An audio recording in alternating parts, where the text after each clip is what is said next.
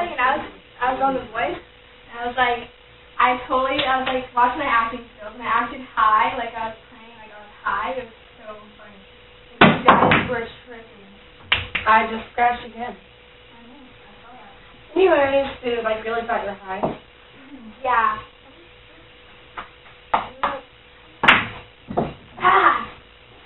I'll do that. Watch this.